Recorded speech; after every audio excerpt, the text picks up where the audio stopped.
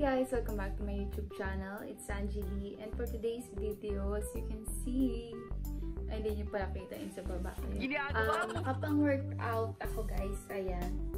So, for today's video, mang-bubudol tayo ngayon and then, mang-encourage na mag-workout. Pwede na! Kahit ako guys, tinatamad rin ako mag-workout. Pero, kailangan talaga natin mag-workout. Kasi para maging healthy rin tayo. So, ayan na guys. Without further ado, just keep on watching.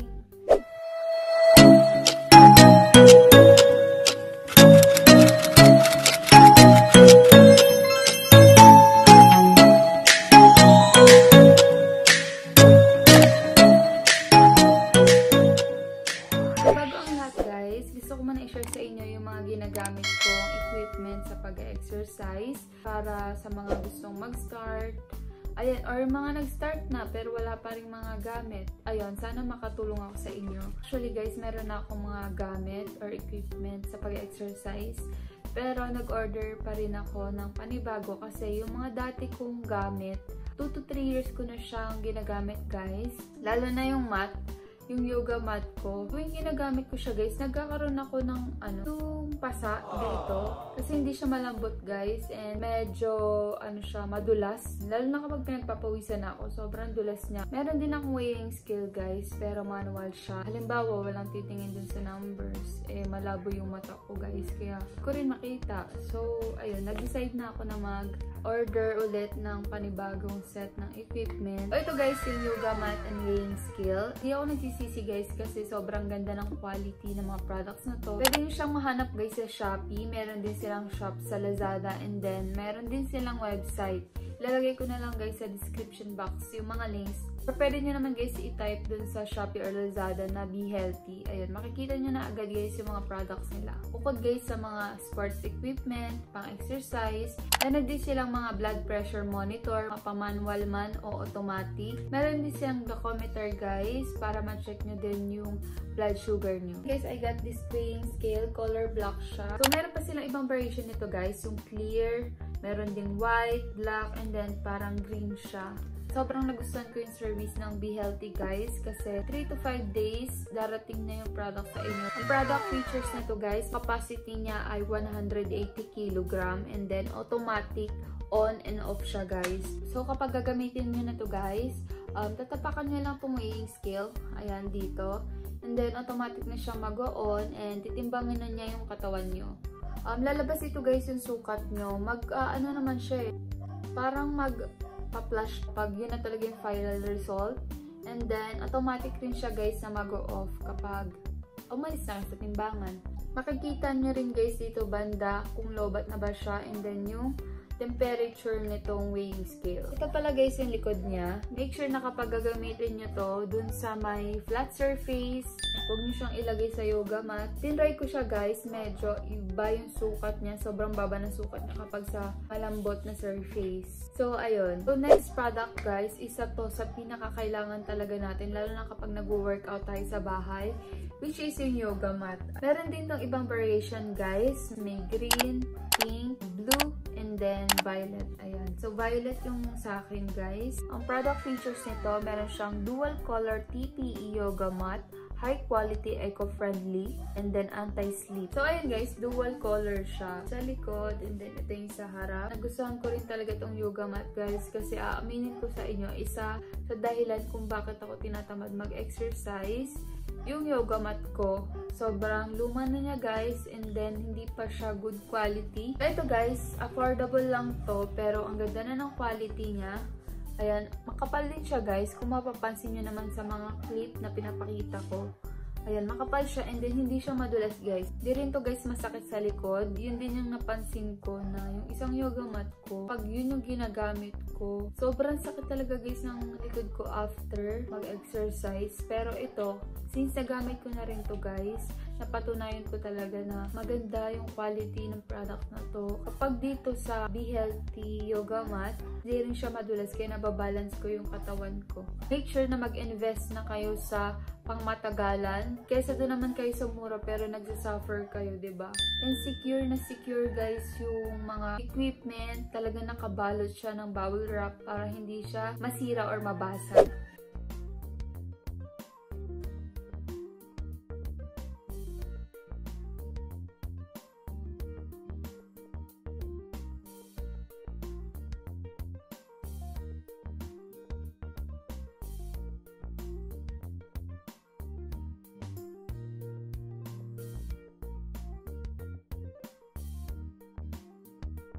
Bukod guys sa yoga mat and weighing scale, may iba pa akong marerecommend sa inyo. Siniseryoso ko na talaga guys yung pag-exercise. Kaya bumili na rin ako ng dumbbell.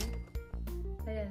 Dalawa siya guys. So 5 kilos to guys. Ayan. Medyo mabigat siya. Sa mga nagsisimula pa lang, mas prefer ko na simulan nyo siya sa um, hindi gaano mabigat. Mga 1 kilos, 2 kilos, ganyan. Bago kayo mag 5 kilos guys. Kasi Ewan ko rin ba ba't 5 kilos agad inano ko. Pero nagagamit ko rin naman to guys. And then, nasanay na lang din ako sa 5 kilos. Ayan. Next product guys is itong um, loop band. Ayan. Sa Shopee ko rin to binili and sobrang affordable lang nito guys. Nakakatulong to. Lalo na kapag sa mga leg workout and then booty. Ayan. Bumili rin ako guys ng jumping rope. Ginagamit ko to guys as ano ko, yung pang warm up ko. Mga 300 to 500 jumps yung ginagawa ko. Basta kapag nararamdaman kong nawa-warm up na ako, ayun, okay na yun so, dahil nga guys, nagkakasugat ako sa dati kong yoga mat. Ayan, napabili ako ng muscle support. Yung isa pa nga, bumili rin ako ng long sleeve sun protection. Kasi gusto ko talaga guys na ano, hindi ako magkaroon ng sugat dito. Ayun pala, pinakadahilan talaga yung yoga mat. Kahit anong gawin kong pantapal sa siko ko, dumudulas talaga siya guys. So, ayun. Kaya mas prefer ko tong Be Healthy na yoga mat guys kasi hindi siya madulas. Bukod guys sa mga equipment, bumili rin ako ng mga clothes. Ayan. Para talagang mamotivate ako na ano, mag-workout. Kasi 'di ba isa rin yun sa nakakatulong. Yung bumabangon ka, tapos nagpapalit ka ng pang workout. Ayan, disipagin ka talaga sis. Ito guys, mga mura ko lang itong nabili.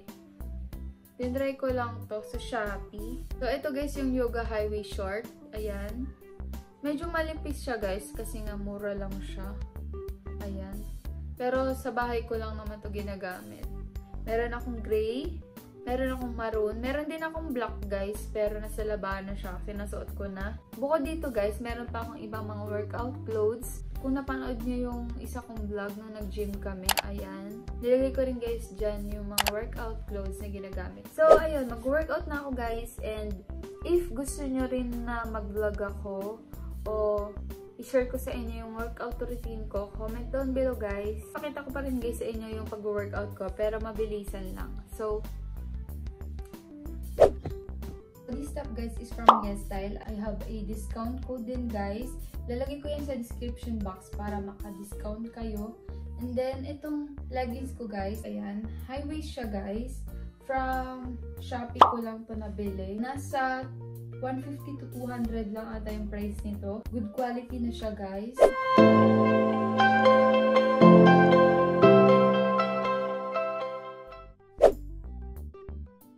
Whew! Puro violet pala. Ayan, don't forget, don't forget to drink your water. Ginagawa?